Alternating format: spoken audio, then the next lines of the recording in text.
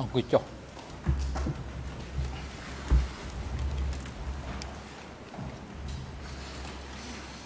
អអមមានប្រកាសបន្តកិច្ចដំណើរការនីតិវិធីសមនការហើយតទៅនេះផ្ដល់វិធានការជូនទៅក្រុមតំណាងសហប្រញ្ញាដើម្បីបន្តការតាំងសំណួរដេញដោលចំពោះសាក់សីហើយតំណាងសហប្រញ្ញារួមទាំងសហវិមុខតំណាងដើមនៅក្រុមនេះនៅសល់ពេលវេលាតែមួយវគ្គនៃសមនការនៅថ្ងៃរសៀលនេះទេ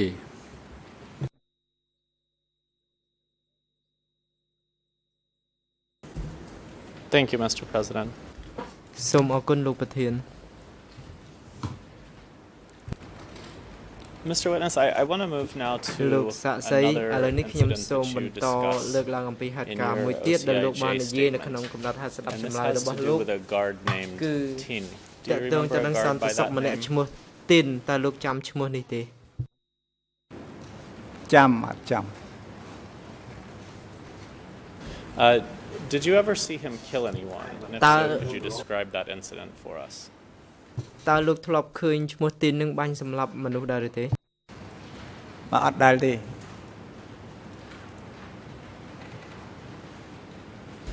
Uh, do you recall an occasion Ta on which lúc he asked chăm- you to bury a body?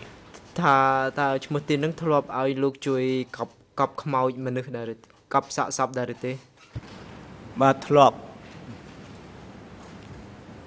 Can you describe that situation for us? តើលោកអាចរៀបរាប់អំពីហេតុការណ៍នោះប្រាប់តឡាការបានទេអឺអឺដែលអឺខ្ញុំអឺឈ្មោះវាសហប្រហែលគ្នាមួយទីមមួយទីនអឺទីមហ្នឹងគឺជាសន្តិសុខផ្ទាល់របស់សាលាកែប្រែក្រោយអឺមានយប់មួយនោះអឺអ្នកជាប់នៅក្នុងសាលាកែប្រែរបស់ជនជាតិជនជាតិហ្នឹងគេអ្នកសាលាអ្នកជាប់ នៅក្នុងសាលាកែប្រែហ្នឹងវាគឺជនជាតិភាគតិចហើយក៏រត់ចេញទាំងយប់ព្រឹកឡើងគេរាប់ទៅវាបាត់ឈ្មោះនឹងដល់បាត់ឈ្មោះនឹងទៅគេចាប់ផ្ដើមធ្វើអឺសកម្មភាពអ่าតាមដានត្រួតពិនិត្យនៅតាមដងផ្លូវនានាដល់ទៅប្រហែលជាម៉ោង2ស្រាប់តែឃើញនៅឈ្មោះនឹងមកវិញដល់ឃើញឈ្មោះនឹងមកវិញទៅអឺល្មមចំនៅមុខសញ្ញាឈ្មោះទីមនឹងទីមនឹងក៏លើកកំភ្លើង AR ហ្នឹងគឺបាញ់សម្លាប់អឺជនជាតិម្នាក់នឹងតែម្ដងនៅក្រោមដើមកភ្លា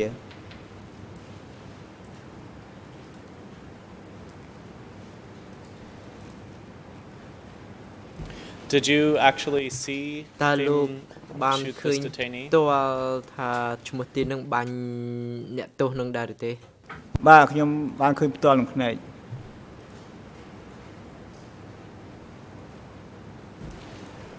Uh, and do you know do you know Ta- why the this ethnic detainee was shot? តើលោកដឹងទេថាតើអ្នកដែលអ្នកដែលត្រូវគេបាញ់ហ្នឹងគាត់ជាជនជាតិអីដែរ ហើយជនជាតិភាគតិចខ្ញុំមិនដឹងថាជាជនជាតិអីទេមិនដឹងជនជាតិអីទេជាមិនដឹងជាតំពួនច្រៅឬកវ៉ែតនេះខ្ញុំអត់ដឹងទេប៉ុន្តែថាជាជនជាតិហើយវារត់ទៅរកបាយប្រជាពលរដ្ឋនៅជាចិត្តនឹងស៊ីដល់វាចេញពីភូមិប្រជាពលរដ្ឋមកវាចូលមកក្នុងសាលាកែប្រែវិញល្មមជួបនឹងសន្តិសុខគេតែម្ដងទៅគេបាញ់សម្លាប់តែម្ដងទៅ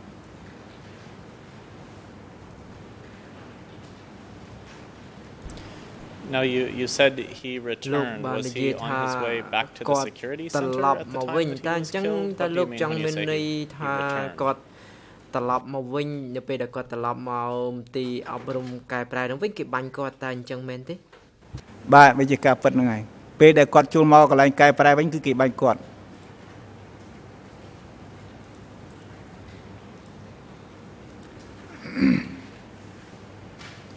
And where did you bury him?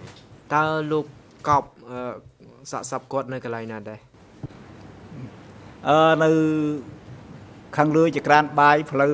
ទៅគេហៅថាភូមិធួយ7ធួយតុំនៅក្រោមដើមកភ្លាប៉ុន្តែឥឡូវវាទៅជាចការរបស់បងប្អូនដាប់សវយន្ទីយើងមិនអាចរកផតតាំងនឹងបានទេ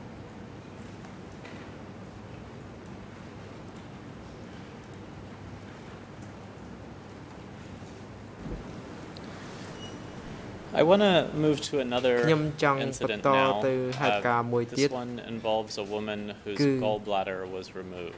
តកតងទៅនឹង Do you recall that នារីម្នាក់ incident? ដែលថាគេ And if វះ so, យក can ប្រ you មាថ describe that តើ for លោក us? ចាំអំពីហេតុការណ៍វះយកប្រមាថរបស់ស្ត្រីម្នាក់ទេហើយបើសិនបើលោកចាំលោកអាចរៀបរាប់បានទេបាទចាំអឺនារីនោះអឺខ្ញុំមិនបានចាំឈ្មោះទេប៉ុន្តែអ្នកសម្លាប់នោះឈ្មោះញុកដែលជាសន្តិសុខ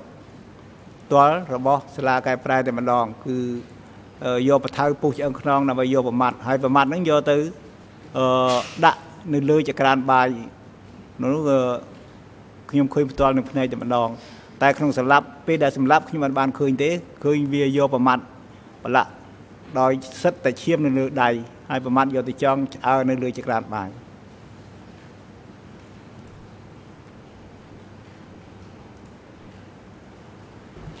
And how did you learn that it was Nyok, in fact, who had តើ taken this woman's លោក gallbladder? ធ្វើយ៉ាងណាបានដឹងថាឈ្មោះញុកហ្នឹងជាអ្នកវះយកប្រមាត់ពីនារីម្នាក់ហ្នឹងព្រោះវានិយាយខ្លួនឯងវាទៅប្រាប់អ្នកដាំបាយសម្រាប់អ្នកទោសទាំងអស់នៅក្នុងសាលាកែប្រែហ្នឹងគឺវានិយាយខ្លួនឯងវាអ្នកវះហើយវាអ្នកកាប់ដើម្បីយកប្រមាត់ទៅឆ្អើ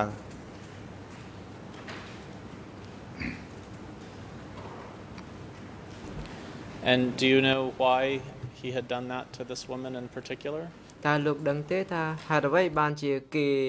ស្លាប់វះយកប្រមាត់នារីនោះបើខ្ញុំមិនដឹងហេតុផលរបស់គេយ៉ាងម៉េចទេបើគាត់ថាគ្រាន់តែថាអឺខ្ញុំបានឃើញវាយកអសន្នសុខនោះវាយកប្រមាត់ទៅចូលចក្រានតែម្ដង តែរឿងតូកំហុសយើងខ្ញុំមិនបានដឹងទេ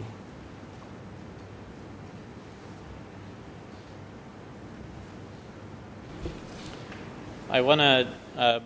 just go back to your OCIJ ខ្ញុំ interview ចង់ and ask you about និយាយ something you អំពី said សំ about this កំណត់ថា event. ស្ដាប់ចម្លើយដែលលោកបាននិយាយ This ជាមួយ is ERN អ្នកស៊ើបកិច្ចគឺឯកសារ00 27 27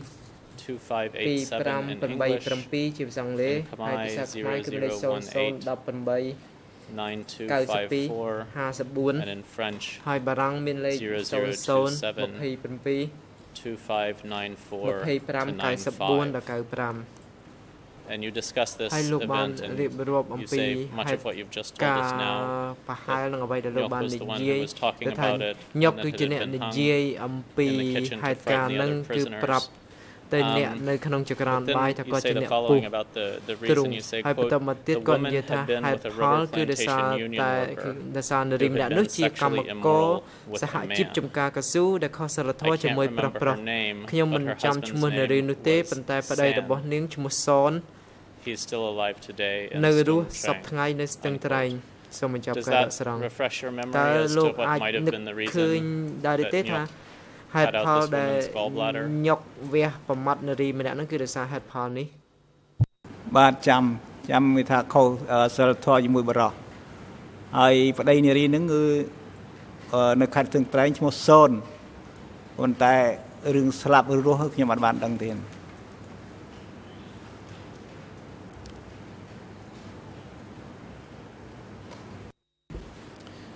Okay, and uh, again, I'm moving on to another ឥឡូវនេះ topic ខ្ញុំ now. បន្តទៅអឺប្រធានបទមួយទៀត Do you recall តើលោក an ចាំទេ occasion on which a number of Vietnamese ដែល prisoners, ថាមានអ្នកទោសវៀ five ត or ណាម six, were brought to the មួយចំនួន Vo ត្រូវបាន Kan គេ Sang នាំមក Re-Education Center? មន្ទីរអប់រំកែប្រែអូកន្សែងបាទអត់ចាំទេអត់អត់បានដឹងពីរឿងអ្នកទោសវៀតណាម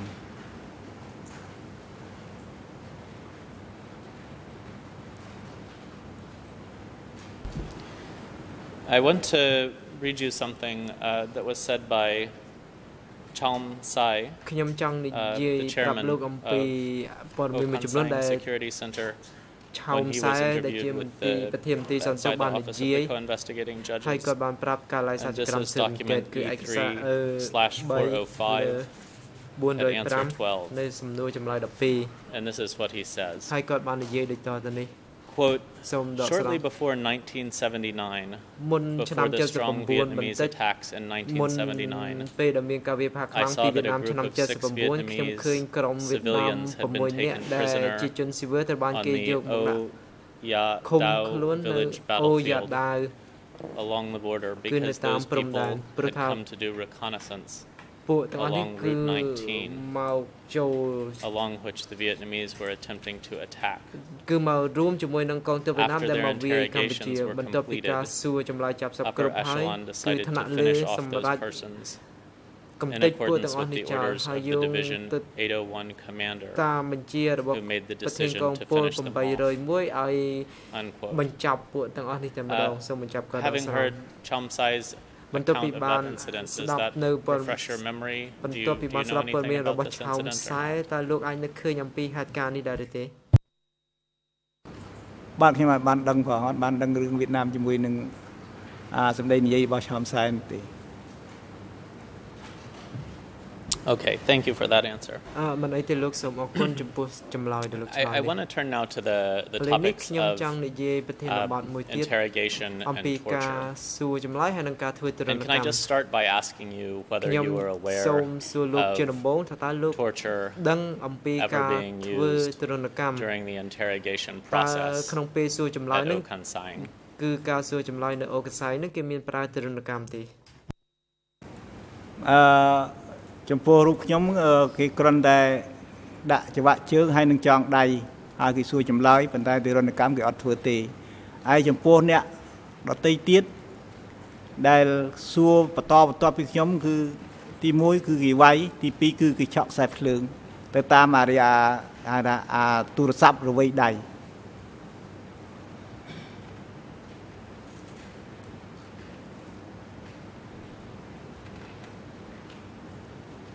And how did you know that other detainees were beaten and electrocuted during their interrogations? ធ្វើយ៉ាងណាបានដឹងថាអ្នកទោសដតីទៀតហ្នឹងត្រូវបានគេវាយឬក៏គេឆក់ខ្សែភ្លើងព្រោះអឺផ្ទះដែលសួរចម្លើយហ្នឹងគឺផ្ទះល្វែងមិនមែនដូចខ្ញុំទេខ្ញុំគេយកទៅសួរនៅកន្លែងសម្ងាត់មានអាផ្ទះមួយតូចដាច់ឆ្ងាយប្រហែលជា50ម៉ែត្រពីកន្លែងសាលាអឺកែប្រែដោយចំពោះអ្នកដតីដែលដាក់ខ្សែភ្លើងហើយនឹងអឺ ធ្វើបាបហ្នឹងគឺគេធ្វើនៅក្នុងផ្ទះដែលក្នុងចង្វាក់តែម្ដង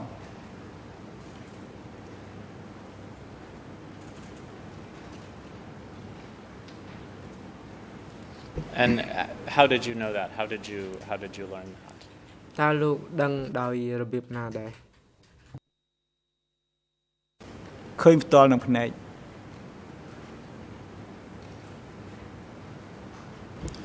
And can you tell us um, how it is that you were able to witness the តើ um, លោក torture អាច during ប្រាប់បានទេ interrogation ថា of other ហេតុអ្វី detainees? In ទើ other ប words, លោកអា where ច were you មើល that you ឃើ were ញដែល able ផ្ទាល់ to ភ្ see នែក it or នៃ hear ការ it? ធ្វើទរណកម្ម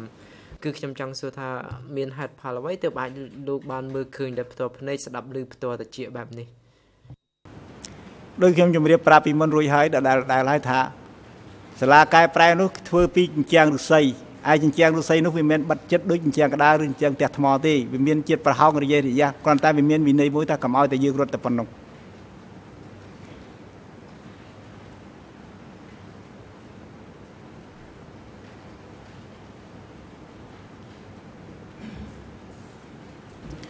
Do you know who it was that carried out the torture during the course of តើ interrogations? លោកដឹងទេអ្នកណាជាអ្នកធ្វើទរណកម្មនៅពេលគេនៅពេលសួរចម្លើយនោះ បើខ្ញុំអឺអត់បានចាំឈ្មោះទេគ្រាន់តែដឹងថាសន្តិសុខនៅក្នុងសាលាកែប្រែរបស់សាលាកែប្រែនោះតែម្ដង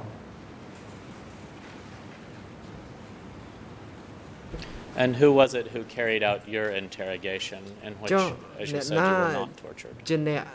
សួរចម្លើយលោកដោយលោកថាគេអត់ធ្វើទរណកម្មលោកទេប៉ុន្តែអ្នកណាជាអ្នកសួរចម្លើយលោកអឺអ្នកសួរចម្លើយខ្ញុំឈ្មោះទីម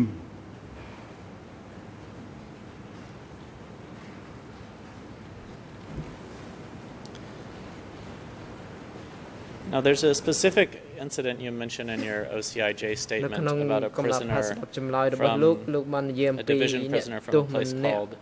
Ba- Bokau, if មក I'm ពី saying ប that correctly. កែវ Um, do you remember anything តើលោកចាំ about a division prisoner ទេ from អំ there ពី being អ្នកទោស tortured កង during ពល interrogation? ដែលត្រូវបានគេធ្វើទរណកម្មនៅពេលសួរចម្លើយនោះតើលោកអាចរៀបរាប់បានទេបាទចាំអឺអ្នកទូដែលគេយកមកហ្នឹង គឺយកមកសួរចម្លើយទៅសេវត្តរូបនៅលើប្រវត្តិរូបនៅលើក្រែហើយដល់គេមើលម្ដងហើយវាត្រូវអត់ត្រូវដែលតាមការយល់របស់គេគឺគេយកអាដកាប់យើងហ្នឹងគឺយករឹបផ្លូវរហូតដល់អ្នកនឹងស្រែកទៅស្លាប់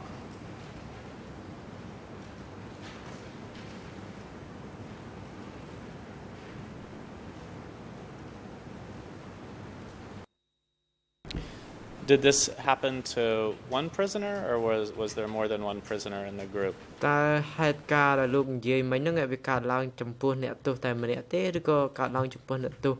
ច្រើនអ្នកក្នុងក្រុមផ្សេងផ្សេងៗគ្នាបាទអ្នកទោសដែលដាក់ដកាប់នៅភ្លៅហើយរត់ខ្សែកស៊ូនេះគឺចំពោះអ្នកទោសតែម្នាក់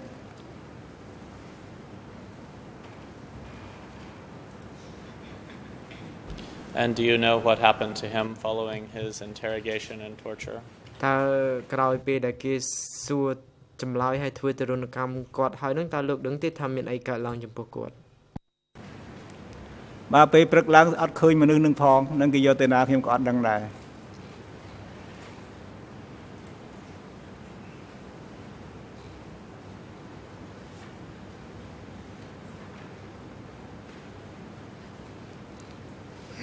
And in your own interrogation, do you recall នៅពេលដែល uh, គេ what សួរ kinds ចម្លើយ of លោក questions ផ្ you ទាល់ were ហ្នឹងតើ asked? លោកចាំទេគេសួរសំណួរលោកគេសួរចម្លើយលោកពីអីខ្លះបាទនេះដូចខ្ញុំជម្រាបពីព្រឹកហើយសំណួរនេះខ្ញុំច្រំដែរលេងគឺគេសួរខ្ញុំថាតើមានទោសអីបានគេយកសមមិត្តមកកន្លែងកែប្រែខ្ញុំក៏ឆ្លើយថាខ្ញុំអត់បានដឹងទេព្រោះខ្ញុំមិនដែលធ្វើអ្វីខុសចំពោះមុខបកទេហើយគេក៏ប្រាប់ខ្ញុំថាមកពីសមមិត្តប្រើបច្ចេកទេស អរិញសក្តិភូមិវាប្រហែលបច្ចេកទេសជិះយួនហោះអត់ដើរនឹងជើងបាទអានឹងខ្ញុំបាននិយាយម្ដងហើយ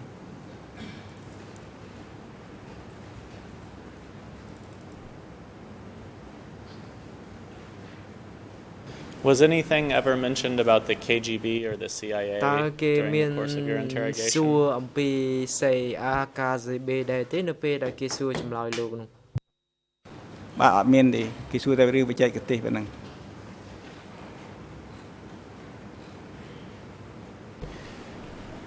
I want to ask you about another ខ្ញុំ uh, ចង់ quote សួ from រ your លោក the អំពី statement you gave to the ចម្លើយមួយទៀតដែលលោក OCIJ ផ្ដល់ជាមួយអ្នកស៊ើបអង្កេតសហ investigators. ជក្រមស៊ើបអង្កេត And this is English គឺនៅ page ត្រង់ភាសាអង់គ្លេសលេខ00 27 00272585 2585 uh, Khmer ខ្មែរមានលេខ0018 0018 9252 92 52 and French និងបារាំងមានលេខ0027 0027 2593. 2591 Now, this 93 quote, you're, you're not talking គឺ about ក្នុង interrogation at this point. You're ចំណុច talking នេះ about គឺលោកមិននិយាយអំពី the ការសួរ prisoners ចម្លើយទេ being ប៉ុន្តែនិយាយអំពី in the cells. អ្នកទោសនៅក្នុង And បន្ what ទ you ប់ឃុំ say ឃាំង is, លោកបាន quote, និយាយដូច prisoners ទៅទៅ can នេះ talk with one another អ្នកទោស normally, អាចនិយាយជាមួយគ្នាទៅ such វិញ as ទៅមក asking បាន about one another's ដូចជា family សួរ histories ពីប្រ and វត្តិគ្រួសារ exchanging សួរ normal សុខ greetings. ទុក្ខគ្នាធម្មតា But they did not តែ dare មិន talk ហ៊ាននិយាយ politics ពីរឿងនយោបាយទេ for fear of being ដោយខ្លាច accused គេ of ចោទថា being ជា KGB.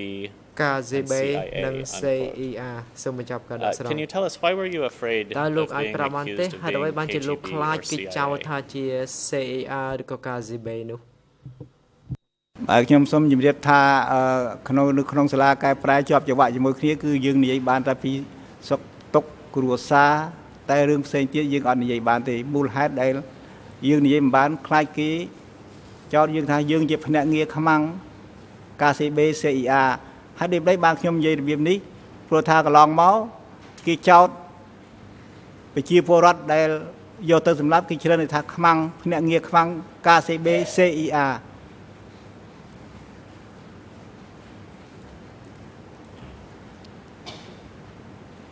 So, were you aware of uh, actual situations in which prisoners at Okansang had been accused of being ដឹងអំពី KGB or CIA agents? ស្ថានភាពជាក់ស្ដែងថាអ្នកទោសនៅអូកស័យនឹងមានគេធ្លាប់ចោទប្រកាន់ថាជា CER ឬក៏ KGB ដែរឬទេ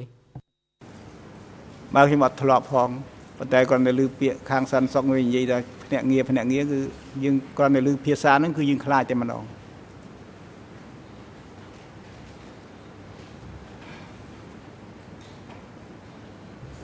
And what did you hear the guards saying about តើ KGB or CIA សន្តិ agents? សុខហ្នឹងគេនិយាយពីអីដែរគឺលោកនិយាយថាលោកឮពីសន្តិសុខនោះ បើសាន់សុកវាច្រើននិយាយថាពួកមកដែលគេសម្លាប់ហ្នឹងច្រើនតែភ្នាក់ងារសម្ងាត់របស់ភ្នាក់ងារ CER KCB Did the guards say that to you, the prisoners, or d- is that something you heard them saying to each other តើលោកស្ដាប់ឮគេនិយាយហ្នឹងគេនិយាយជាមួយសន្តិសុខគ្នាគេឬក៏គេនិយាយប្រាប់អ្នកទោសអត់គេមិនដែលប្រាប់អ្នកទោសគឺនិយាយសន្តិសុខនេះគេតែគេនិយាយឮឮគេមិននិយាយខ្សឹបទេ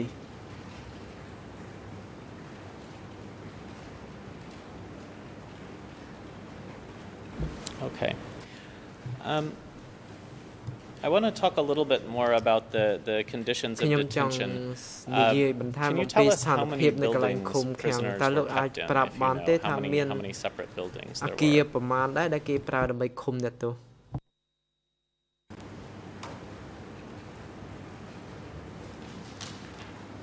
បើខ្ញុំបើខ្ញុំនៅចាំមិនភ្លេចទេមានផ្ទះវែងវែងនេះ3ដែល សម្រាប់ដាក់អ្នកទោសនៅកន្លែងឃុំឃាំង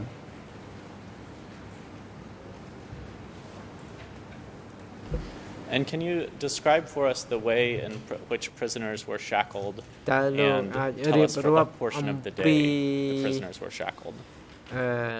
ការដកការដាក់ខ្នោះគ្នាងនឹងបានដែរទេហើយតើគេដាក់នៅពេលណាគេដាក់នៅក្នុងរយៈពេលប្រមាណនេះដែរ ខ្ញុំអត់ដឹងរយៈពេលប្រហែលទេប៉ុន្តែការដាក់ខ្នោះវាមាន3ប្រភេទនៅក្នុងកន្លែងឃុំឃាំងមួយ គឺមាន3ប្រភេទទី1គឺដាក់ចង្វាក់ចាក់សោទី2គឺដាក់ខ្នោះធ្វើនឹងដៃសរសៃហើយទី3ធ្វើអំពីឈើ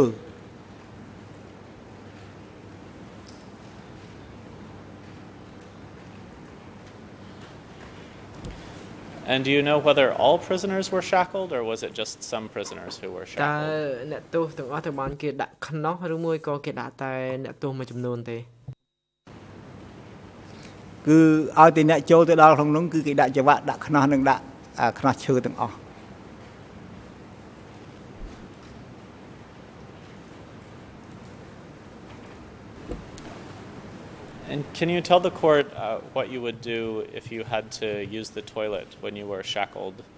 លោក uh, អាច inside the building or inside the ប្រាប់ cell? បានទេនៅពេលដែលលោកជាប់ខ្នោះហើយលោកចង់ទៅបន្ទប់ទឹកតើលោកធ្វើដូចម្តេចដែរបាទសូមជម្រាបថាសាលាកែប្រែមានបន្ទប់ទឹកទេចរន្តនោះគឺបត់ជើងគេដាក់បំពង់អស័យឲ្យហើយកាលណាពេញបំពង់អស័យគេឲ្យយកទៅចាក់ដោយខ្លួនឯងនៅកន្លែងក្រៅ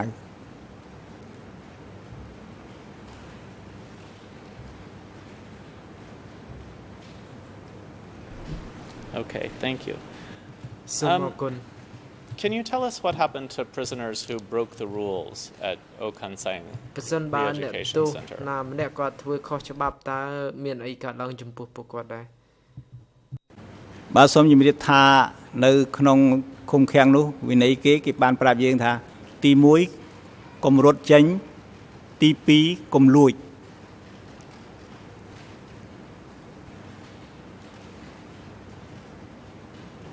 Are you aware of any? Well, you've told us about one prisoner who tried to flee and who was អឺ shot. លោកបានប្ Are រាប់ you យើង aware អំ of ពី any other អ្នក prisoners ទោស who, ម្នាក់ who ដែល violated រត់ rules and គេច were ហើយ punished as a ក្រោយ result? មកទៅបានគេបាញ់សម្លាប់ប៉ុន្តែតើលោកអាចរៀបរាប់បានទេថាតើមានអ្នកទោសណាផ្សេងទៀតដែលទទួលលទ្ធផលឬក៏ទទួលនៅទណ្ឌកម្មប្រហែលគ្នានេះទេអត់មានអឺអ្នកទោសមួយទៀតវានៅវាអត់រត់ចេញទេ វានៅនឹងកន្លែងវានៅនឹង អឺក្នុងផ្ទះកន្លែងដាក់ចង្វាក់ហ្នឹងក៏តែពេលដែលគេឲ្យអឺចេញទៅដកស្មៅនៅខាងមុខផ្ទះអឺមកវិញវាលួចអាក្របទុរេនដែលគេបដោសនៅក្នុងកន្ត្រកឫស្សីហ្នឹងយកទៅដុតហើយដល់ពេលល្ងាចគេត្រូវយកវាទៅសម្លាប់ទាំងយប់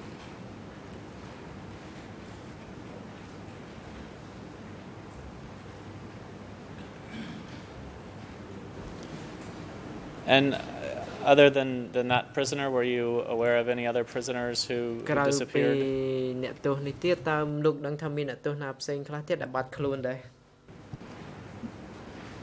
បាទអត់ដឹងទេទោះបីប៉ុន្តែដឹងថាពួកយើងនៅក្នុង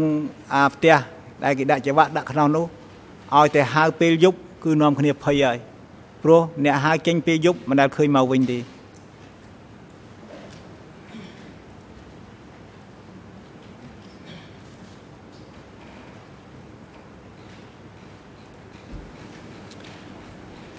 Okay, I want to turn to the, the topic of um, health and hygiene and medical ខ្ញុំ care. ចង់សួរលោកបន្ថែម can you អំ tell ពី us whether បញ្ហា you're សុខ aware ភាព of បញ្ហា any អនាម័យ prisoners ថាតើលោកដឹង getting ទេ sick មានអ្នក and ទោស dying at the ណា O ដែល Consang ឈឺហើយស្លាប់ Re-education នៅ Center? មន្ទីរអប់រំអូកន្សែងនឹងដែរឬទេអត់មាន Can you can you describe those those situations for us? Uh, tell us maybe តើលោកអាច uh, ប្រាប់បានទេ what ថា diseases they had, តើ what អ្នក treatment ទោស they នឹងគាត់ received, ឈឺ if any, អ្វី and- ដែរ and មាន what ជំងឺ happened. អ្វីដែរហើយគាត់ទទួលបានការព្យាបាលដែរឬទេហើយតើមានអ្វីកើតឡើងដែរចំពោះអ្នកទោសដែលឈឺនោះបានអ្នកទោសដែលឈឺនោះខ្ញុំឃើញនេះគឺខ្ញុំធ្លាប់ស្គាល់គាត់ជាកម្មករសហជីពជាមួយគ្នាដែរគាត់ឈ្មោះងឿនកម្ពុជាក្រោមអឺ ឈឺរាកមូលហ្នឹងគឺគាត់ស្លាប់ហើយម្នាក់ទៀតឈឺដែរឈឺរាកមូលដែរគឺស្លាប់នៅក្នុងចង្វាក់នឹងខ្ញុំឃើញផ្ទាល់នឹងភ្នែក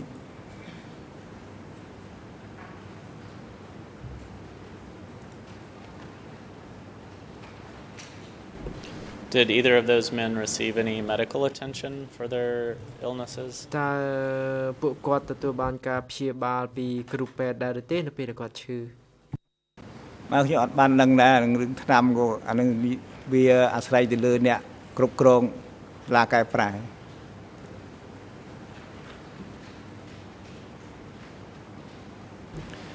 And what about your wife, who you've told us was pregnant at the ចុះ time? Do you know អឺ whether ប្រ she ពន្ធ received any របស់លោក medical attention? ដែលលោកនិយាយថា during her គាត់មានផ្ទៃ pregnancy? ពោះហ្នឹងតើនៅពេលដែលគាត់មានផ្ទៃពោះហ្នឹងគាត់មានទទួលបានថ្នាំពេទ្យឬក៏ការព្យាបាលថែទាំអីដែរឬទេ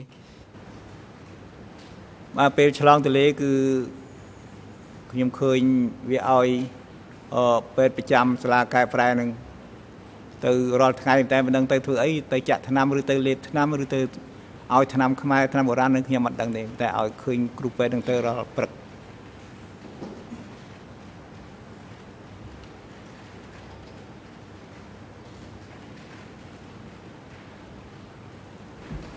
Okay, I want to ask you now about um, work. ឥឡូវនេះខ្ញុំ Can ច you ង់ tell us សួរលោក what អំ kind ពី of ការ work ងារ the prisoners at តើ Okansang អ្នក were ទោសនៅ required to អូ do? កន្សែងហ្នឹងអឺគាត់ត្រូវបានគេឲ្យធ្វើការងារអីខ្លះដែរបាទការងារនៅក្នុងសាលាកែប្រែហ៊ុនសែនហ្នឹងទី1គឺអឺដាំដំឡូងទី2គឺដាំបន្លែ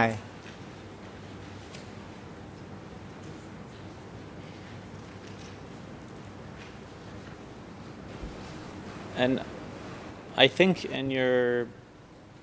OCIJ statement, you also ក្នុង mentioned ចម្លើយ something រ about របស់លោក carrying wood. លោកបាននិយាយ Can you tell អំ us about ពី that if you recall that?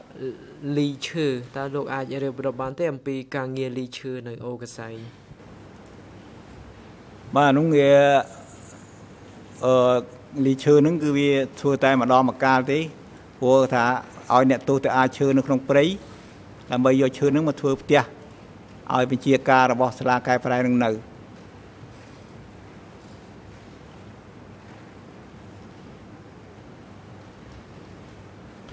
Uh, was the work that the detainees were required to do physically demanding? តើការងារដែលអ្នកទោសទៅធ្វើហ្នឹងជាការងារធ្ងន់ធ្ងរដែរឬទេការងារដែលអ្នកទោសធ្វើគឺការងារបោចស្មៅនឹង អត់ប្រើនឹងអឺចបនឹងខ្វែវទេ គឺបោចនឹងដៃហើយការដាំបន្លែក៏ដូចគ្នាដែរអត់ប្រើជីមកពីណាទេ គឺប្រើជីមនុស្សកាយនឹងដៃធ្វើនឹងដៃទាំងអស់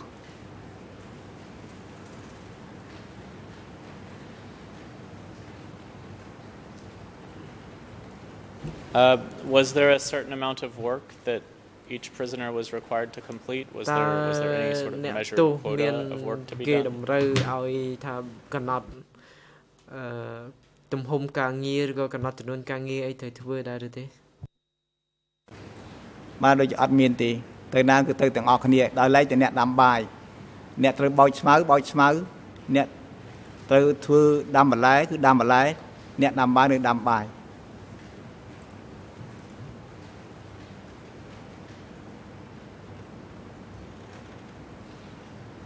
Can you tell us what your working hours were? តើលោកធ្វើការប្រមាណម៉ោងដែរនៅពេលនោះបាទនៅនៅក្នុងសម័យប្រពតដូចគ្មានម៉ោងទេព្រឹកចេញធ្វើការដល់ពេលបាយឲ្យមកបាយបាយឲ្យទៅវិញរហូតដល់ពេលយប់ដេកបាយឲ្យចូលផ្ទះរៀងខ្លួនដែលកន្លែងធ្លាប់នៅគឺនៅរៀងខ្លួនអត់មានទៅណាឆ្វេងឆ្វាយទេ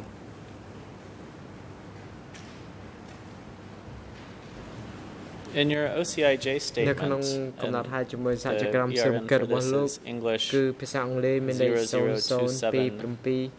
2586 Khmer 001189253 French 002725944 You said លោកបាននិយាយថា that prisoners worked from អ្នក6ទោស until ធ្វើ11ការពី a.m. ម៉ោង6ព្រឹក then ដល់ rested ម៉ោង for lunch, 11ថ្ងៃត្រង់រួច went back to សម្រាប់ work ហូប from បាយ1 until 6 p.m. រួចបន្តពីម៉ោង and 1 then ដល់ម៉ោង rested 6ល្ងាច and ate in a dining សម្រាប់ hall and then ហូប were បាយ sent back ក្នុង to រោង detention. រួចគេបញ្ចូល locked ក្នុង in បន្ from the ទប់ outside with ឃុំ guards ឃាំងវិញ posted. ដែលចាក់សោពីក្រៅហើយមាន Uh, អ្នកយាម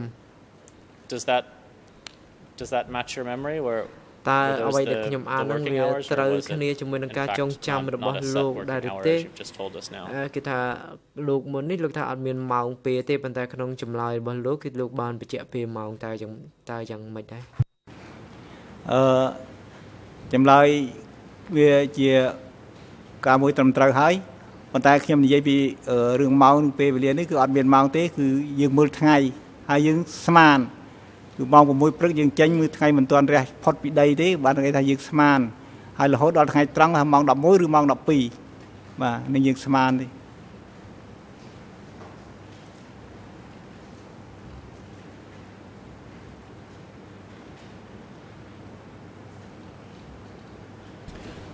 Okay, can I ask you now about food? Can you describe ឥឡូវនេះខ្ញុំ what ចង់ kind សួរ of លោក food you ពី received អា in ហារ the Okansang តើលោក prison? ទទួលបានរបបអាហារយ៉ាងដូចម្តេចដែរនៅអូកន្សែង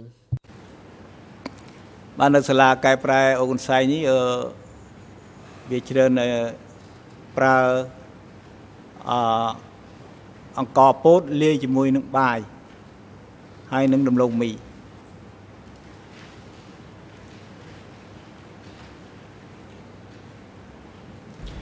And was the food sufficient for the the work that you were expected to do and, and តើ for living? Did, របប did you អា have ហារ enough food? គ្រប់គ្រាន់ដែរឬទេសម្រាប់ការរស់នៅក៏ដូចសម្រាប់ការងារដែលលោកធ្វើការនោះអឺរបបក្នុងម្នាក់គឺមួយចានគឺមួយចានចង្កឹះដែលគេវល់ឲ្យដូចអាកោអញ្ចឹងហើយសម្ល4នាក់មួយចាន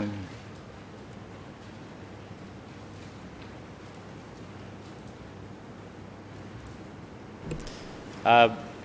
did you lose weight? Did you become thinner while you were working at the តើ at, at លោ the កមាន Okansang ស្រកគីឡូ re-education ដែរ school? ទេតើលោកមានស្គមទេនៅពេលដែលលោកនៅមន្ទីរសន្តិសុខអូកន្សែងនោះសូមជម្រាបថាកន្លែងនោះកន្លែងមិនមែនកន្លែងបំពន់ជីវភាពទេគឺជាកន្លែងគេយកទៅធ្វើតូបអញ្ចឹងបានតែក្តីថាអឺ ស្បែកខ្ញុំដែលទាញនៅគឺនៅត្រង់អត់លាមកវិញទេយើងទាញស្បែកដៃគឺស្បែកដៃគឺនៅត្រង់អញ្ចឹងដល់យើងប្រយុទ្ធទៅបានទាញមកវិញហើយគីឡូខ្ញុំមិនដែលថ្លឹងទេប៉ុន្តែថាអាខោដែលយកទៅគឺស្លៀកអត់ជាប់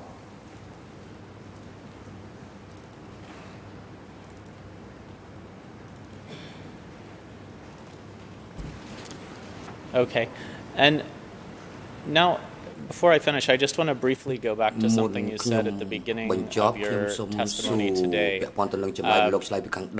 you were asked how many times you had given statements or been interviewed. តើ And what I គេ understood you សួ to រ say that there ចម្លើយ were លោក two បាន occasions. ប៉ុន្មានដង Uh, the first ហើយ one លោក was តាមខ្ញុំ in ចាំ the លោក Khmer ឆ្លើយថា Rouge គេសួរលោកតែ Re-education ពីរដង Center. ទេទី1គឺ And the នៅមន្ទីរ second អប់រំកែប្រែ was at របស់ your ខ្មែរក្រហម house. គឺហើយ Did នៅ I ទី understand 2គឺ that correctly? អឺ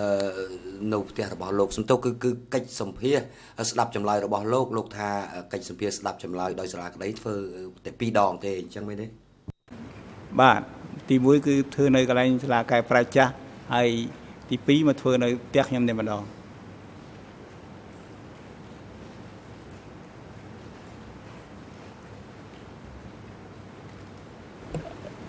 But when you're discussing those those two ប៉ុន្ uh, តែ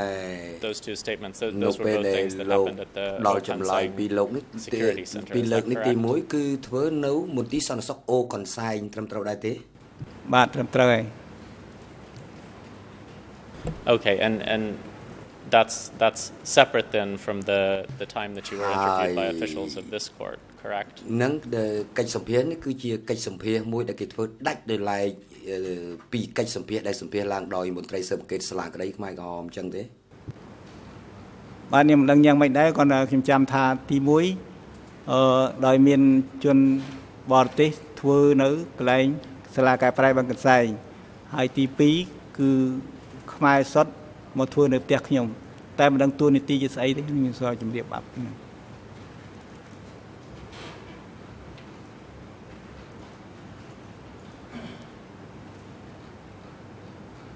Okay, thank you for those answers. Uh, សូមអរគុណ Mr. President, I have no ចំ further លើយនេះ questions. លោកប្រធានខ្ញុំអស់សំណួរហើយសូមអរគុណបាទ អរគុណជាបន្តទៅនេះឲ្យមានផ្ដល់លើការជូនទៅក្រុមសហមេធាវីនៅមុខតំណាងដើមម្ដងរដ្ឋអភិនីដើម្បីមានឱកាសសួរដេញដោលចំពោះសាកសីរំនេះសូមអញ្ជើញបាទបាទសូមគោរពលោកប្រធានសូមអឺមេធាវីនៅមុខសូមបកគលសិទ្ធិនៅក្នុងការសួរនោះជួនអឺលោកស្រីមេធាវីទីស៊ីណាសូមលោកប្រធានអនុញ្ញាតអង្គជំរាបអនុញ្ញាតសូមអញ្ជើញ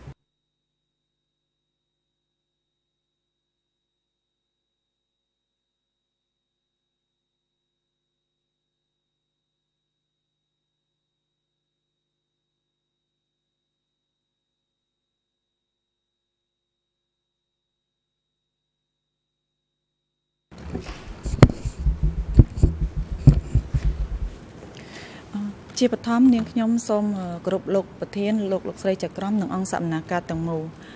និងសូមគោរពលោកស័ក្តិសិទ្ធិនាងខ្ញុំឈ្មោះទីស្រីណាជាមេធាវីតំណាងដើមបណ្ដឹងរដ្ឋវេនីខ្ញុំមានសំណួរមួយចំនួនចង់ធ្វើការតាំងសួរទៅលោកដើម្បីលោកជួយបំភ្លឺនៅហេតុការណ៍ដែលលោកបានជួបប្រទះនៅក្នុងគុកអូកន្សែង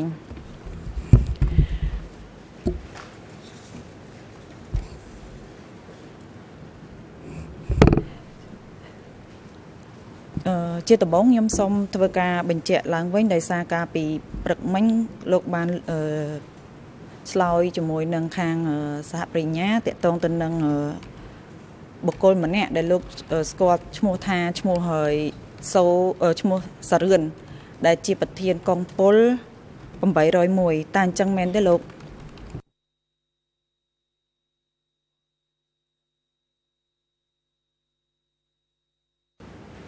បាទអឺ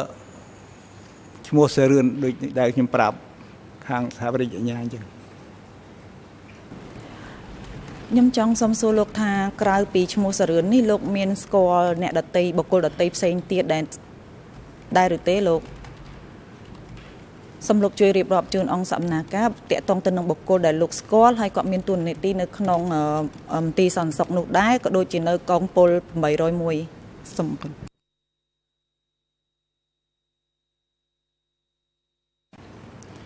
បាទរវាងកងពលនិងខ្ញុំគឺខ្ញុំមិនដែលអឺធ្វើការទំនាក់ទំនងទេព្រោះថា ក្នុងសម័យនោះយើងអត់មានដើរបាន ឆ្ងាយឬធ្វើការទំនាក់ទំនងធំទូលាយយើងអត់មានទេប៉ុន្តែខ្ញុំស្គាល់ឈ្មោះនេះស្គាល់ដោយសារតែអឺកងសន្តិសុខនៅប្រចាំសាលាកែប្រែបឹងអូកន្សែងនឹងដែលប្រាប់ខ្ញុំថាកងប្រធានកងពលឈ្មោះសិរឿនតែប៉ុណ្ណោះហើយអ្នកដទៃទៀតគឺអត់បានស្គាល់គ្នាទេ សូមអរគុណអឺឥឡូវខ្ញុំចង់សូមសួរលោកពាក់ព័ន្ធជាមួយនឹងហើយ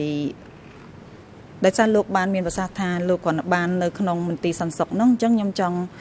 ខ្ញុំចង់សួរលោកពាក់ព័ន្ធជាមួយនឹងការអនុវត្តវិញថាតើនៅក្នុងការអនុវត្តនៅក្នុងមន្ទីរសន្តិសុខហ្នឹងចំពោះសន្តិសុខទាំងអស់ដែលដែលបានអនុវត្តអីជាពិសេសគឺពាក់ព័ន្ធជាមួយនឹងវិន័យជាតកតងទៅនឹងការគ្រប់គ្រងអ្នកទោសអីហ្នឹងតើការអនុវត្តរបស់គេយ៉ាងម៉េចដែរលោក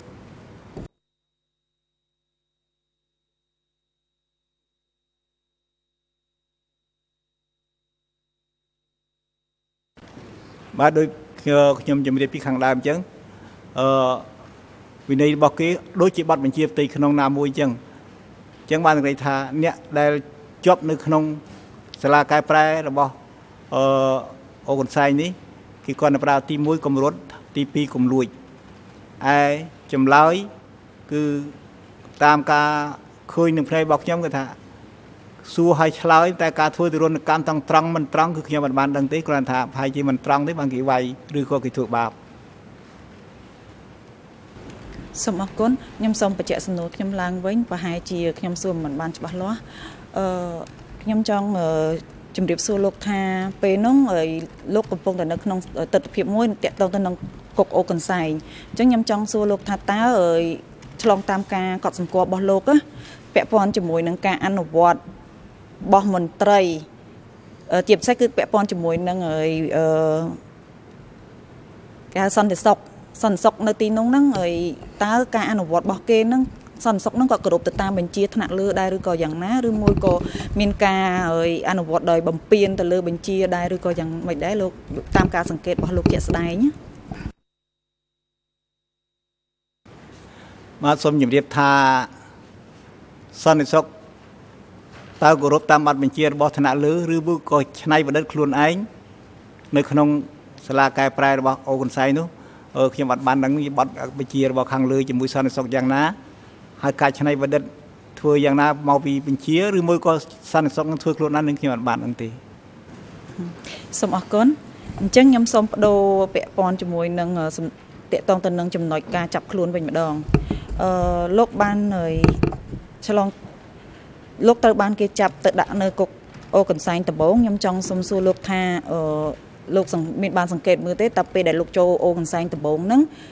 មានអ្នកទោសនៅក្នុងអូកន្សែងហ្នឹងចំនួនប្រមាណអ្នកដែរលោកអាចប៉ាន់ប្រមាណខ្ញុំអត់ត្រូវការព័ត៌មានជាក់លាក់ចំនួនជាក់លាក់ទេតែខ្ទង់ថា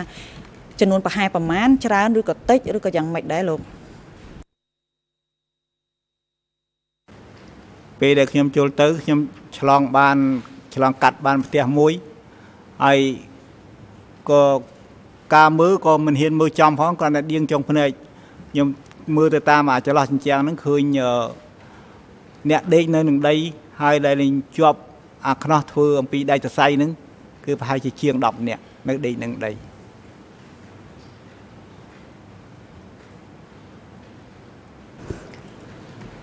សូមអរគុណអញ្ចឹង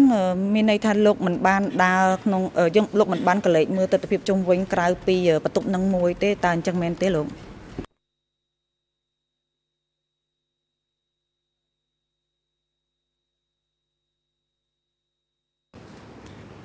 បាទព្រោះថាផ្ទះនឹងវានៅតាមផ្លូវដើរអញ្ចឹងបើសិនជាយើងធ្វើអ្វីខុសគឺយើងខ្លាចខ្លួនដែរព្រោះ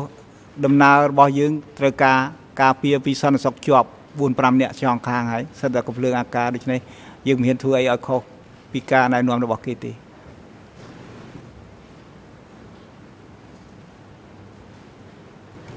សូមអរគុណតើលោករស់នៅក្នុងអូកន្សែងនឹងរយៈពេលប្រហែលឆ្នាំដែរលោក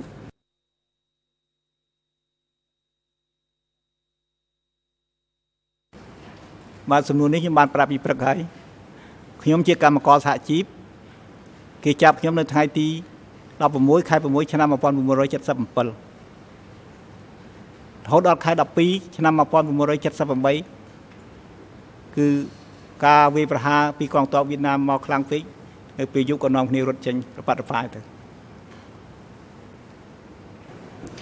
សូមអរគុណអញ្ចឹងមានន័យថាលោករស់នៅទីនោះហាក់បីដូចជាយូរដែរអញ្ចឹងខ្ញុំចង់សុំសួរថាក្នុងកំឡុងពេលដែលលោករស់នៅទីនោះហ្នឹង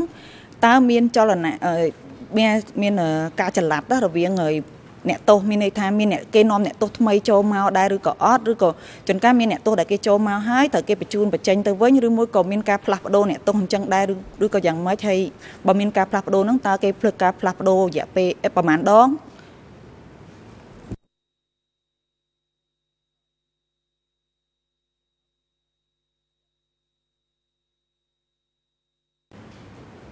បាទបើតាមខ្ញុំដឹងថា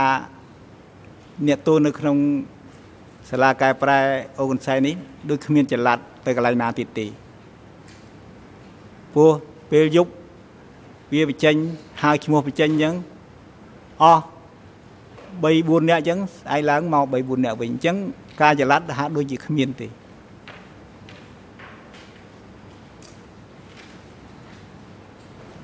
សូមអរគុណខ្ញុំសូមបញ្ជាក់ឡើងវិញអញ្ចឹងមានន័យថាពេលយប់ត្រូវគេបញ្ជូនចេញ3 4នាក់ហើយព្រឹកឡើងគេបញ្ជូនចូល3 4នាក់ទៀតអញ្ចឹងអ្នកដែលគេបញ្ជូនចេញ3 4នាក់ហ្នឹងនិងអ្នកដែលគេបញ្ជូនបញ្ជូនចូល3 4នាក់ហ្នឹងជាមនុស្សតែជាបុគ្គលតែមួយឬមួយក៏ជាបុគ្គលផ្សេងគ្នាដាច់ដោយឡែកអ្នកដតីជាបុគ្គលផ្សេងគ្នាបាទខ្ញុំដូចខ្ញុំជម្រាបជូនពីខាងដើមហើយខ្ញុំថាអឺ ឲ្យតែពេលយប់គេបើកទ្វារនៅផ្ទះណាមួយហើយគេហៅឲ្យចេញដើម្បីទៅរៀននៅកន្លែងអង្គការអានឹងបាននិយាយថាមនុស្សនឹងគឺត្រូវតែបានម្ដងប៉ុន្តែអ្នកចូលទៅវិញវាមិនមែនចូលរាល់ថ្ងៃទេ4 5ថ្ងៃឃើញម្នាក់ពីរនាក់មិនមែនមិនមែនថាចេញ5ចូល5ទេ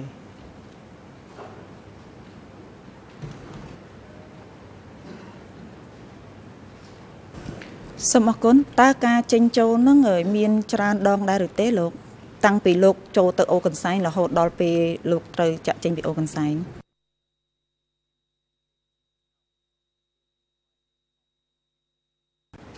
បាទមិនសូវជាញាប់ប្រហែលទេ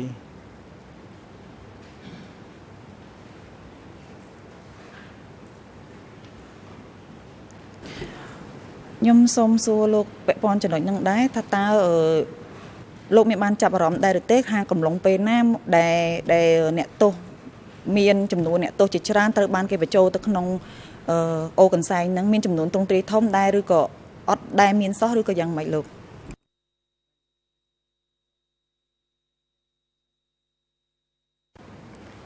បាទដូចខ្ញុំជម្រាបប្រាប់ពីព្រឹកហើយថាដែលមានទ្រង់ទ្រីធំខ្ញុំឃើញតែម្ដងគត់ដែលខ្ញុំថាជុតចិត្តចរាយហ្នឹង ក្រៅពីហ្នឹងគឺអត់មានជុតអត់មានទ្រង់ទ្រីធំទេ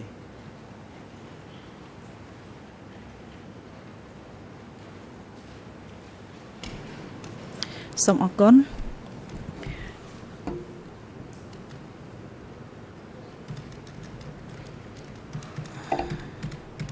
ឥឡូវខ្ញុំសូមសួរលោកពាក់ព័ន្ធជាមួយនឹងការឃុំឃាំងវិញតើ ដោយសារតាមុនហ្នឹងលោកក៏បានបំភ្លឺពាក់ព័ន្ធជាមួយការឃុំឃាំងដែរក៏ប៉ុន្តែខ្ញុំវាហាក់បីដូចជាមានភាពមិនសូវច្បាស់លាស់អញ្ចឹងសូមឲ្យលោកធ្វើការបញ្ជាក់ឡើងវិញអំពីស្ថានភាពនៅក្នុងមន្ទីរឃុំឃាំងឲ្យបានច្បាស់បន្តិចមកថាតើក្នុងកំឡុងពេលហ្នឹងអ្នកទោសហ្នឹងគាត់ការរស់នៅរបស់អ្នកទោសហ្នឹងយ៉ាងម៉េចដែរលោកទាំងរូបលោកផ្ទាល់ក៏ដូចជាអ្នកទោសដតីទៀតណាតើគាត់ទទួលបានលក្ខខណ្ឌយ៉ាងម៉េចដែរសូមលោកជួយបំភ្លឺមក បាទសូមជម្រាបជូនថាការរស់នៅក្នុងទីឃុំឃាំងរបស់អឺអូកសៃនេះគឺពេលថ្ងៃគេឲ្យយើងចេញធ្វើពលកម្មពេលយប់គឺមិនឲ្យដើរឆ្វេងឆ្វាយចូលនឹងកន្លែងដាក់ច្បាក់ហើយនៅស្ងៀមស្ងាត់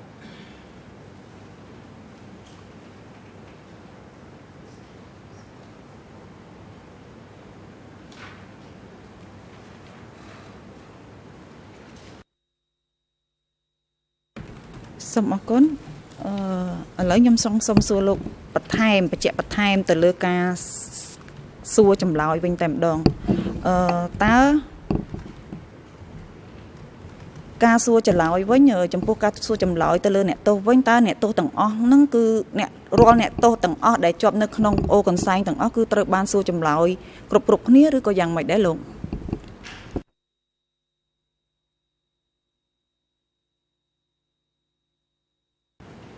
បាទចំពោះបញ្ហាហ្នឹងគឺខ្ញុំអត់បានដឹងច្បាស់ទេមិនដឹងថាបានសួរទាំងអស់ឬមួយក៏សួរមួយចំនួនគឺខ្ញុំអត់បានដឹងទេ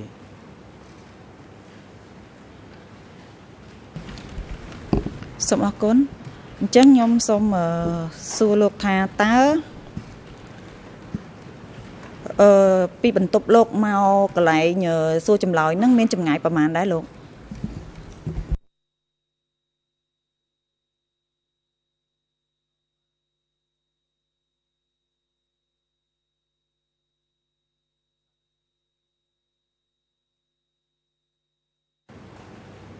បាទខ្ញុំប្រាប់ពីព្រឹកមិញហើយថាប្រមាណជា50ម៉ែត្រប៉ុន្តែវាគ្មានវាលទេគឺអឺពីកន្លែងអាផ្ទះដាក់អ្នកទោសទៅកន្លែងសួរចម្លើយគឺបាំងដោយព្រៃគឺភាគច្រើនគឺពាក្យច្រើនគឺដើមកភ្លា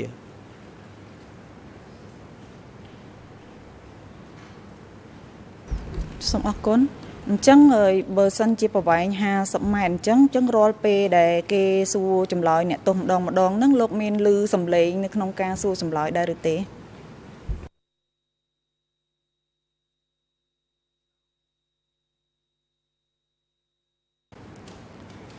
ពីអំពីខ្លឹមសារសួរគឺខ្ញុំអត់បានឮទេ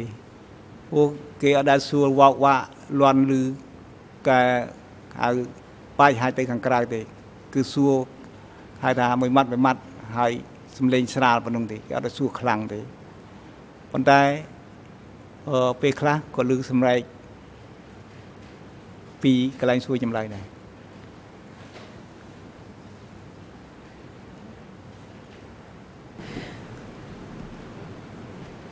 ខ្ញុំសូមឲ្យលោកខ្ញុំសូមសូមស្នើឲ្យលោកជួយរំលឹកឡើងវិញមើលថាតើពេលដែលលោកឮសម្រែកពីខាង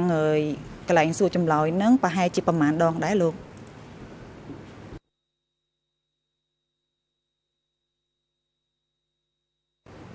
បើមិនអាចចាំបានទេប៉ុន្តែវាមិនច្រើនដងទេបាទឲ្យបើនិយាយពីចំនួនពិតប្រកបគឺខ្ញុំបានអត់ចាំបានទេ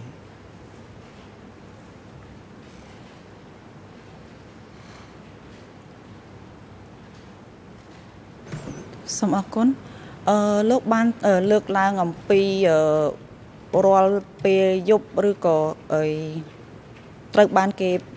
យកអ្នកទោសចេញអញ្ចឹងខ្ញុំចង់សុំសួរលោកមួយទៀតលោកមានដែរធ្លាប់ដឹងឬក៏ឮតកតងនឹងអីការសម្លាប់ដែលមានការចាក់សម្លេងចាក់សម្លេងជាឃោសនៈស័ព្ទអីផ្សេងផ្សេងអីលោកមានដែរដឹងឬក៏ឮករណីនឹងនៅក្នុងមានមានករណីបែបហ្នឹងនៅក្នុងមន្ទីរសន្តិសុខនឹងដែរឬទេ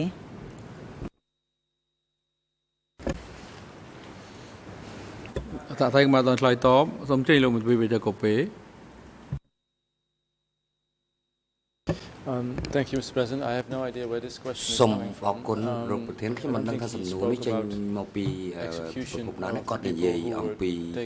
ការសម្លាប់មនុស្សដែលគេនាំខ្លួនចេញយកទៅក្រៅនៅពេលយប់ហើយគាត់បាន ឆ្លើយថាគាត់បានលឺថាគេយកពួកគេចេញទៅក្រៅហើយមិនដែលឃើញត្រឡប់មកវិញទេដូច្នេះមិនមានផុសតាងអ្វីបញ្ជាក់ថាគេបានសម្លាប់អ្នកនោះទេហើយឯការចាក់ភ្លេងបំពងសម្លេងមកពីក្រៅនោះក៏មិនដឹងថាជាភ្លេងអ្វីនោះដែរដូច្នេះខ្ញុំសូមជំទាស់ទៅនឹងសំណួរនេះ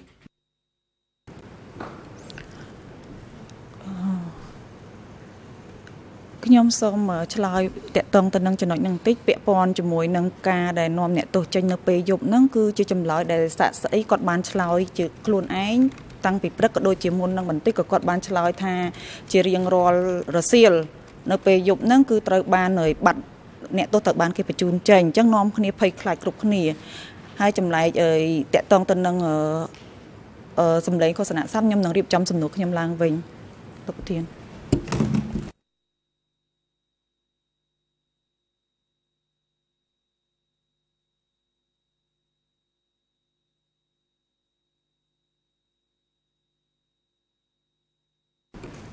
ខ្ញុំសូមសួរលោកពាក់ព័ន្ធនឹងចំណុចផ្សេងទៀតថាតើកន្លងមកអ្នកទោសដែលនៅក្នុងមន្ទីរសន្តិសុខហ្នឹងក្រោយការសួរចម្លើយហើយត្រូវបានមានអ្នកទោសណាដែលត្រូវបានគេដោះលែងឲ្យមានសេរីភាពដែរឬទេកន្លងមកលោក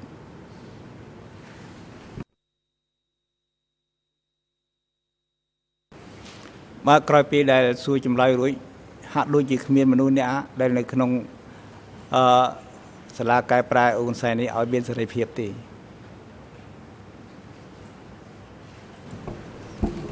សូមអរគុណ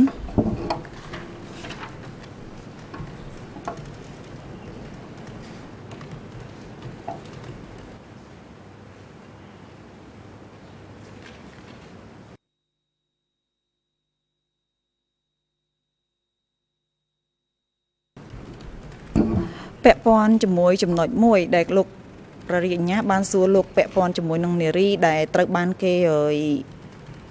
វះខ្នងយកប្រមាត់ណា ខ្ញុំចង់សុំសួរលោកថាហើយពេលដែលគេវះខ្នងយកប្រមាថហើយគាត់ត្រូវបានយកប្រមាថហ្នឹងទៅតាញុកត្រូវបានយកប្រមាថហ្នឹងយកទៅព្យួរនៅរោងបាយពេលដែលគេព្យួរប្រមាថនៅរោងបាយហ្នឹងហើយពេលហ្នឹងមានមនុស្សច្រើននៅទីនោះឬក៏អត់ទេលោក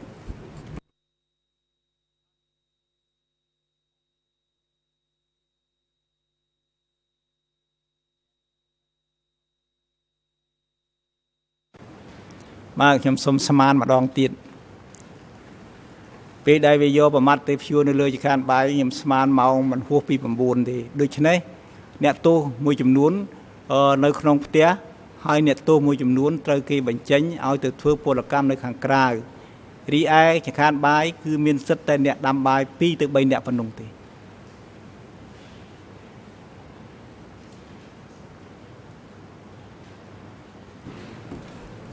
សូមអរគុណ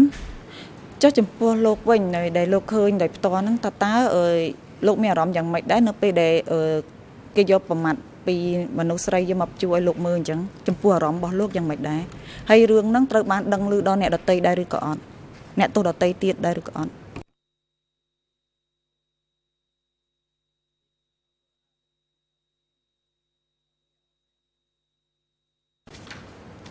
បាទអឺ រឿងនោះលាក់មិនចិត្តទេព្រោះស្រីស្រីដែលនៅចក្រានបាយនឹងនិយាយតតគ្នាឬពេញកន្លែងក្លាសាលាកែប្រែនឹងម្ដង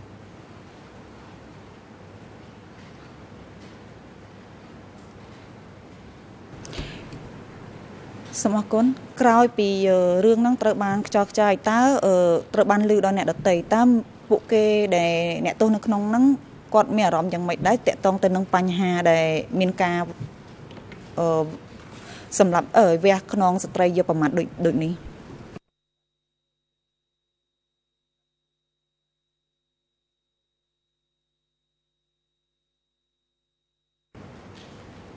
បាទមើលទៅទឹកមុខអ្នកដែលចូលទៅហូបបាយហើយអ្នកដែលនៅក្នុងចក្រាននឹងហាក់ដូចជាមានភាពមួយ គឺថាក្តុកដួលក្នុងចិត្តហើយផិតភ័យនៅក្នុងខ្លួន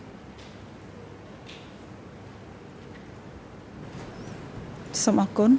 ខ្ញុំចង់សូមសួរលោកពាក់ព័ន្ធជាមួយរឿងរណ្ដៅសាកសពវិញម្ដង លោកបានលើកថាហើយក្រៅពី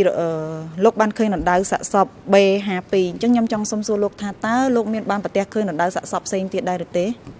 ក្រៅពីរណ្ដៅ B52 ហ្នឹង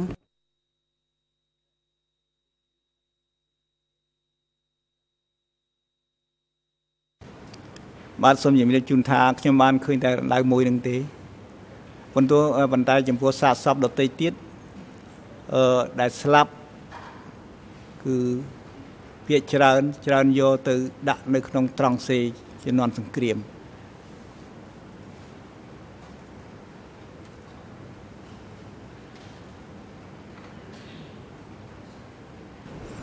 សូមអរគុណ តើត្រង់សេដែលគេយកសាកសពដែលគេយកទៅដាក់នៅត្រង់សេចំនួនសង្គ្រាមហ្នឹងតើត្រង់សេហ្នឹងមានចំនួនច្រើនឬក៏តិចឬក៏មានប្រមាណដែរដែលលោកបានជួបប្រទះ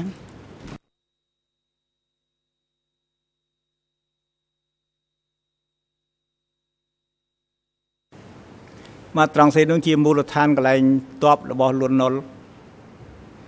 ហៅថា PSO គឺទីប្រចាំការរបស់វាអញ្ចឹងគឺនៅក្នុងផ្ទះ នីមួយនីមួយសិតតែមានត្រង់សេដើម្បីការពារខ្លួនហើយដល់តែពួកទាហាននេះរត់ចេញអស់នៅក្រោមដើមខ្នោនឹងគឺភាកច្រើនត្រង់សេនឹងទៅមក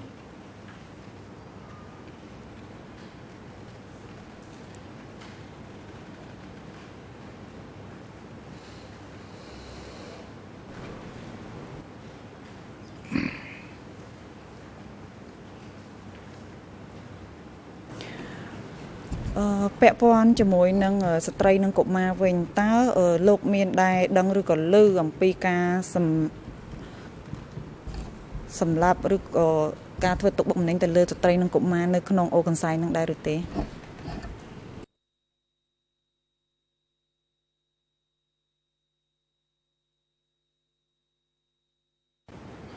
មកការធ្វើទរណកម្មចំពោះស្ត្រីនិងកុមារខ្ញុំមិនបានឃើញទេ ខ្ញុំបានគ្រាន់បានដូចបានជម្រាបជូនខាងដើមអញ្ចឹងខ្ញុំគ្រាន់បានឃើញគេផ្ដាល់មានស្ត្រីស្ត្រីមានផ្ទៃពោះនិងកុមារ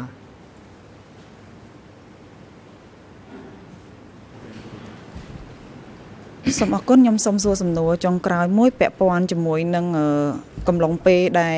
កងទ័ពវៀតណាមចូលមកដល់ណា លោកបានខ្ញុំចង់សំសួរថាមុនពេលឬក៏កំឡុងពេលដែលកងទ័ពវៀតណាមចូលមកដល់ហ្នឹងតើចំនួនអ្នកទោសនៅក្នុងអូកន្សែងហ្នឹងមានប្រហែលជានៅសេសសល់ប្រហែលជាប្រមាណអ្នកដែរ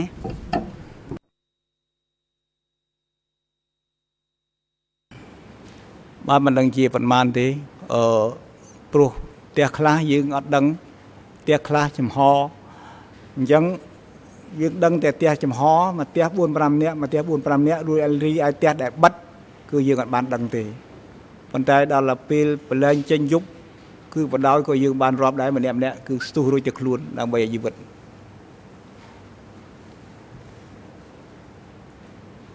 សូមអរគុណតាមការសង្កេតរបស់លោកនឹងអ្នកដែលស្ទុះរត់ចេញរួចយកជីវិតនឹងបើតាមការសង្កេតនឹងតិចឬក៏ច្រើនទៅត្រឹម2 3នាក់ទេឬក៏យ៉ាងម៉េច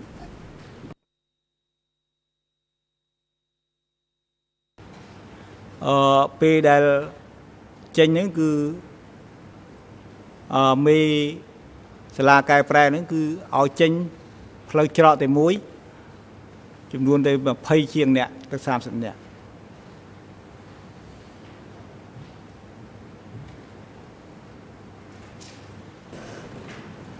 តើចំនួន20ទៅ30នាក់ដែលចេញក្នុងច្រកតែមួយហ្នឹងក្នុងពេលតែមួយឬក៏មានពេលវេលាឬក៏ថ្ងៃពីឬក៏ តែម្ដងហ្នឹងឬក៏មានការបញ្ចេញផ្សេងផ្សេងខុសៗថ្ងៃគ្នាទៀតពេលដែលមុនវៀតណាមមកដល់ភ្លាមភ្លាមហ្នឹង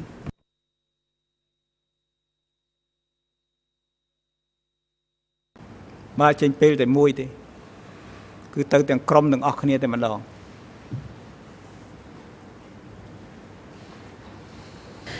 សូមអរគុណតើខ្ញុំសូមបញ្ជាក់បន្ថែមតិចថាតើពេលដែលពួកគាត់ចាក់ចេញពីអូកន្សែងទៅមានហេតុការណ៍អ្វីកើតឡើងចំពោះពួកគាត់ ដែរឬក៏យ៉ាងណាដែរលោក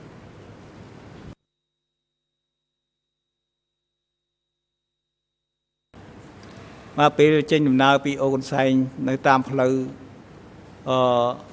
ទៅព្រំប្រទល់ខេត្តស្ទឹងត្រែងតាមកាត់ព្រៃនេះនៅតាមដងផ្លូវមានបញ្ហាខ្លះខ្លះទីហោដូចជា អ្នកទោសដែលដើរមិនរួចអ្នកទោសដែលមានជំងឺគេមិនឲ្យយកទៅទេ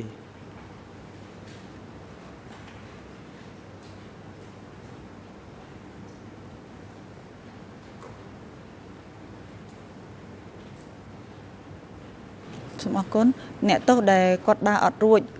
គេមិនឲ្យយកទៅនឹងតើគេទុកគាត់នៅកន្លែងណាឬមួយក៏គេមានវិធានការអីចំពោះពួកគាត់អត់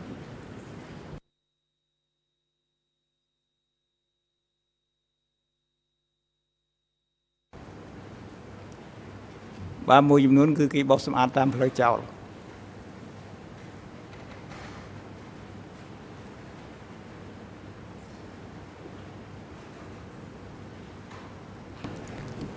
អរគុណតើការបោសសម្អាតនឹងមានន័យម៉េចលោកនៅក្នុងអត្តក្នុងខ្លឹមសាររបស់លោកចង់មានន័យគាត់លោកចង់មានន័យដូចម្ដេច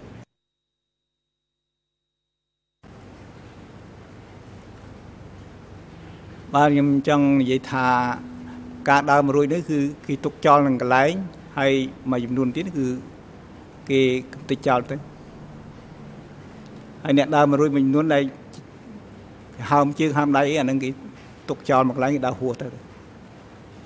គេអត់រងចាំព្រោះនិយាយរួមថាពេលដែលកងទ័ពវៀតណាមចូលមកដល់ទឹកដីខេត្តរតនគិរីហើយទាំងអស់គ្នាភ័យស្លន់ស្លោអញ្ចឹងគេមិនរងចាំអ្នកជំងឺនឹងទេ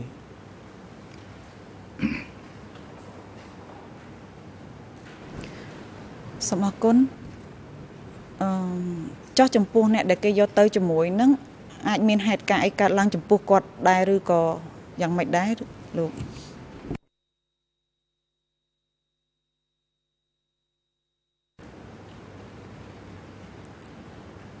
មកពេល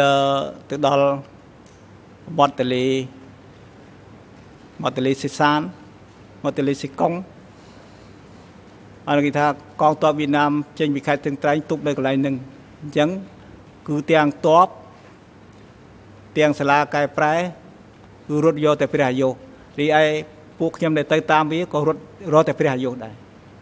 គឺបែកគ្នាត្រឹមកន្លែងកងទ័ពបំបែកនៅកន្លែងទលេសេសានតែម្ដង